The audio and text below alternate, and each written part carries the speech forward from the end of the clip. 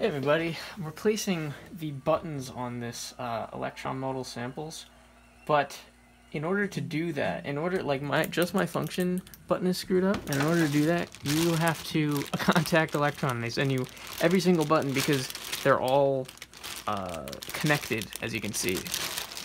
And here I am, first removing every single knob and the best thing I've found to do is take a flathead screwdriver put it right under and then kind of just rotate it and then pick it up. Uh, it's a tedious process for sure but I'll resume the video when uh, I'm done. So after you get all the knobs I just put them in a little uh, tray here. They're not magnetic so just put them somewhere right? They don't go flying and you don't lose one. But I got another one here because there's a ton of screws under here they're all hidden. Uh, there's a gentleman on YouTube who uh, took one of these apart and painted it, which I think looks so awesome. But unfortunately, I'm not that creative, right, or talented. So here I am just replacing these buttons. But this is a funky screw. There's one on that corner, one here, and there's one under here. Alright, so now I'm going to try to find this screw. I think I feel it in the center. Oh, there's actually a lot of space in there, as you can tell. Look at that. It's really deeply in here. So I'll unscrew that. Same size, which is nice. Now, everything lifts up. and here you are greeted with the next 15 minutes of your life unscrewing. Alright, that wasn't that bad. Down to the last screw here, and yeah, you do have to get all these off this LCD panel. And there's these tabs here, you just push them down. And let's see if this comes up.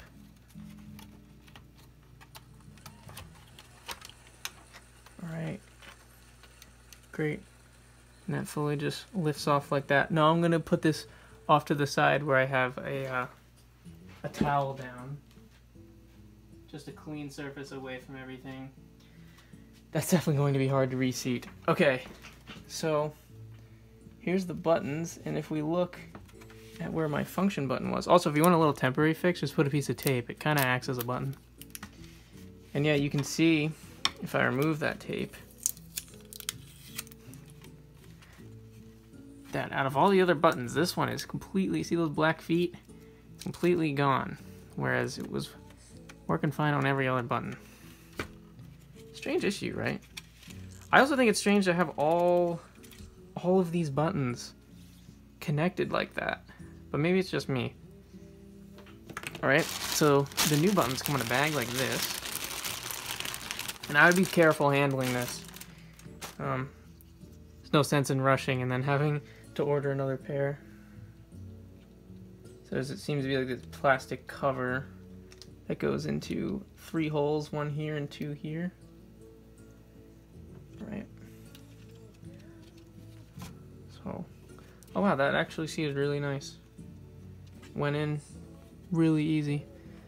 So I'll grab the board.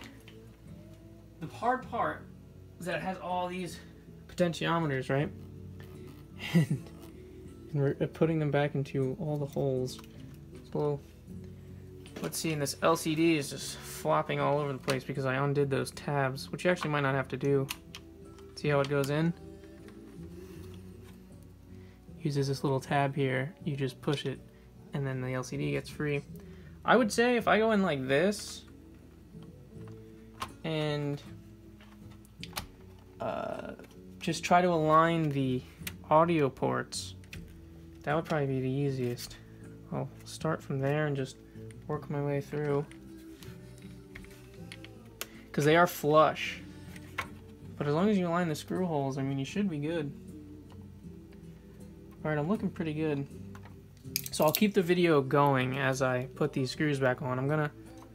You don't want to put them in too tight. That one struggled a little bit to go in, but let's hope that's just an anomaly. No, this one's struggling too. Like I'm putting a lot of force to drive this screw in. I don't know why. Let's see if I take it out. Yeah, maybe that's just how it is. Just a low tolerance in here. Okay, that one went in easier. I don't know. Yeah, this one's being stubborn. But I'm still not over tightening these screws. That's the bit came out. Alright. I mean, it's working, right? Nothing's going crazy or falling out, so I'm going to try to put these screws in, see what happens. Checking to see the LCD is lined up just fine. Alright, so maybe I'll go from the perimeter and work my way in. Because I feel like if you secure the perimeter screws, should be fine. Yeah, see when I push that screw in, then the bottom of the board, which is this side, all pops up. So it's like putting in a car tire, you know? You gotta go in a star pattern, so I'll try that. Seems to be working. Um, I'm just gonna keep pushing the board in and making sure I'm not... All the buttons look like I'm able to click them all, so I'll keep going. I'll try to go in some sort of ordered fashion here, but basically what I'm doing is what is I'm just putting in screws. I'm just checking to make sure nothing's going wrong. Um, and I'm putting them in in like a sort of a star shape. It's kind of, I mean, it's um, technically impossible to do a star shape with all these screws, but I'm just going to keep going and take my time and then, yeah, I'll catch back up when I'm going to put the lid back on. Here I am at the last screw. So as I was going, I basically just did the perimeter, right? I did like a couple here, then a couple here, then a couple here, then a couple here. And as I was doing that, this board would kind of like be pressed in, and then one screw would be extremely up high, and then I would screw that one down, and then I kind of just worked my way towards the center here. So putting in the last screw, and some went really in really easy, and some not so much. I, am not trying like excessively hard. I think if you're trying way too hard, something must, must be wrong. So uh, as you can tell, there's no flex in the board. Like I kept hearing like pops, um, which is good because that's, that means that everything is seating well. So I'll secure the perimeter once again using that weird expression. but I'm just tightening the perimeter screws here. Um, I'm working on a mat, which is helpful to not uh, scratch the front and so I'll just continue tightening these screws. I'm not over tightening them. If, if they if they're gonna move, they they'll move. But if not, I'm not gonna force it. It's okay if you miss a few, as long as you don't feel any play on the board here, which I don't, which is great. Uh, this board feels really securely on with all these screws. All the screws match, which is really convenient. Uh, here's like a really soft thin bristle brush. I might just use that if I got any crap on the board.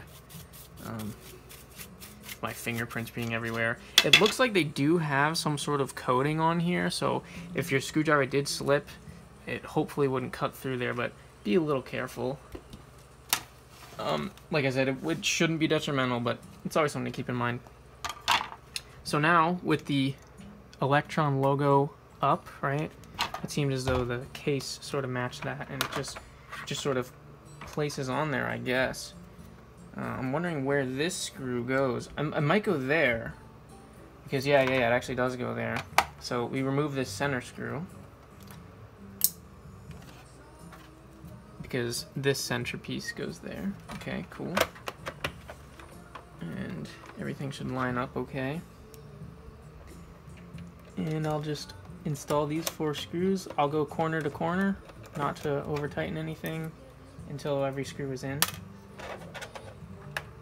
If you're having trouble pushing this rubber piece up, just use the flathead screwdriver. It should do the job just fine. Also, when I was putting in the screws, I was incrementally checking the front, making sure nothing was weird, kept testing the buttons. They all seem to click really good.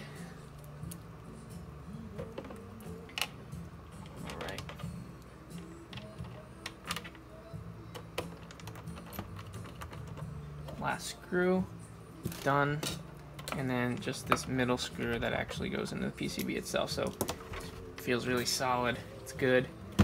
Now let's see, so for this, there's like a little tab piece and a gap that goes in, so what if I go in with my screwdriver and push in? Yeah, that seems to do okay. So you're basically just getting this ridge to go into that gap. Yeah. I don't think it's ever going to be perfect, but as long as it's aligned on both sides, you're okay. This is always going to be now up. I would assume a good remedy for that maybe to just put a piece of tape over, which I'll do right now. I'll grab some electrical tape.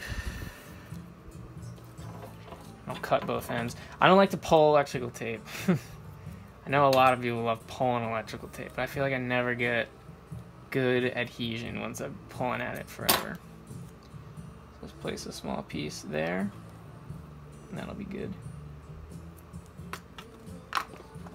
Alright, so now here we are in the front.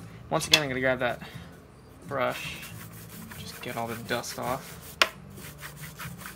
Now would probably be a good time to clean, and I see a little scuff mark there. And if you know me, if you know my YouTube channel, I do a lot of like old technology repairs. So isopropyl alcohol, any percentage is really good with a Q-tip. And you just dip it in or put it in the bottle cap depending on how much you use and I'll just go over this these few blemishes here. And they seem to come right off and there's some crap on this knob that came off. There's some crap there, up here, up there. Wow. See how much crud just comes off? It's great. so, any of these knobs are gross. I'll clean. Maybe this LCD, which people will tell you you probably shouldn't do, so go at your own discretion. There's some crap here. Some more junk here. I'm just going at it with, as you can tell with the Q-tip, it's wet with the alcohol. I'm just dunking just a tiny little bit. I usually pour it in the bottle cap, but feeling cool today, right? Get that off. There's definitely going to be gunk uh, on the most common knobs, right? Like finger cheese. So get all that. it's recording. Good. All right. Everything else looks okay. Just a few little marks here and there. Right there. Maybe don't go over the letters. You might deteriorate the, the paint, but cool. Another one here between 12 and 13. Seem to come out. I'm just gonna grab a clean one and kind of dry that off. I don't know if it's gonna deteriorate the rubber, so I'd rather just dry off. Be good. Okay, so now the horrible part, well, the second part that sucks is putting on these knobs because they have a slot, so they can only go in one way. Alright, so I'm to do that, and then I will once again resume. Great, it's coming along. What I did is basically look at the flat side, look at the flat side on the knob, push it through. Another thing you can do is kind of just randomly push it down and rotate it. Push it down while rotating, and then when it catches, you just push it down. I'll do one more pass with the brush. Everything looks to be good. So the last thing you should do when everything is plugged in, um, just go ahead and press every button, make sure it works. Um, you can tell, you know, what each button should do. That might help to make to let you, you know, to make sure you know if the button works or not. So just pressing all of them here, looks good. Uh, twist every knob and make sure something's happening on the display. And if anything goes wrong, leave a comment and maybe we can help troubleshoot it. If not, maybe just take everything apart and see if there's like a contaminant in between the pad and the, the pad that doesn't work, in between the pad and the PCB, or see if like a piece of dust was there or something like that, or even clean the contact with alcohol just a tiny little bit and see if that helps solve the issue. But everything should work. Just test everything. You want to test it now, not when you're in the mood to, you know, make music or if you have a gig or something. So, yeah. And uh, that's it. Yeah, that's how to replace the buttons on your Model:Samples. Um, just test them out, make sure they are good. Everything feels great, it's super responsive. Um, cool. So if anyone has any questions, if you have any tips or things that I missed, please let me know. Um, you know, there's a great community around Elektron and uh, especially this uh, synthesizer, so or sampler, whatever the hell you want to call it. um, anyway, yeah, please like the video and uh, have a wonderful day. once again, if you have any questions, please let me know. Thanks.